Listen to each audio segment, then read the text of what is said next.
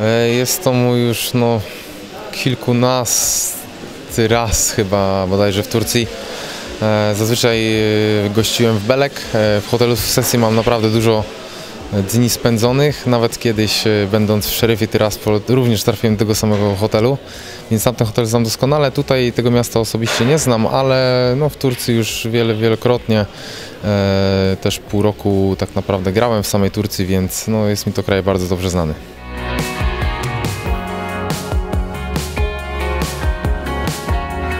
Tak, generalnie mm, zdziwiłem się, jak, jak małą liczbę osób znam osobiście, bo generalnie na poziomie takim ekstraklasowym czy pierwszoligowym naprawdę mam dużo znajomych i, i, i w wielu, większości klubów znam chyba e, więcej osób niż właśnie w Wiśle Płock.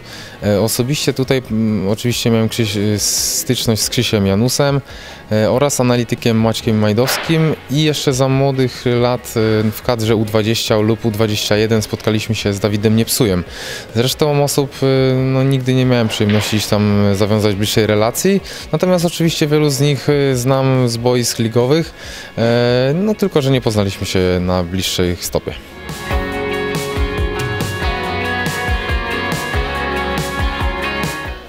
Bliższe jest mi to ustawienie na trójkę, e, z racji tego, że ja lubię być bardzo aktywny z piłką. Lubię troszkę pobiegać, lubię się podłączyć do akcji ofensywnej, e, więc jest taka możliwość w grze na trójkę. Natomiast e, w grze na e, takiej klasycznej, e, w czwórce obrońców, e, bardziej skupiamy się już na zadaniach defensywnych i na prostszym rozgrywaniu piłki. Natomiast w tym w tym systemie mam wiele meczy rozegranych, także e, odpowiadają mi oba. Ciekawszy powiedzmy jest dla mnie ten system z trójką, natomiast system czwórkowy absolutnie nie uważam za gorszy.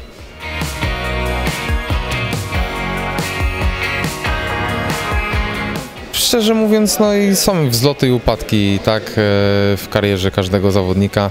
E, Nie patrzę tam tak naprawdę na to, czy, czy jestem teraz w gorszym czy złym momencie. Planuję jeszcze wiele lat grać w piłkę, także absolutnie nie uważam, że jest to jakaś końcówka. Myślę, że jeszcze spokojnie 7 do nawet 10 lat przy moim zdrowiu jestem w stanie pograć. E, Nie mam żadnych problemów zdrowotnych, motorycznie naprawdę wygląda to fajnie, więc e, myślę, że jeszcze dużo dobrych chwil przede mną i na nich warto się skupić.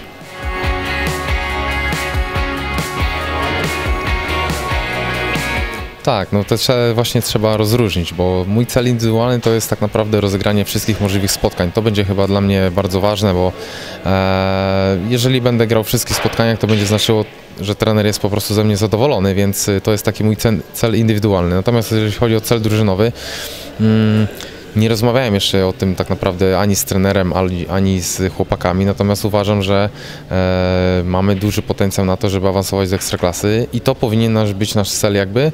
Być może nie będziemy o tym mówić głośno, aczkolwiek każdy e, ma sportową ambicję na pewno i myślę, że to jest cel na najbliższe 6 miesięcy.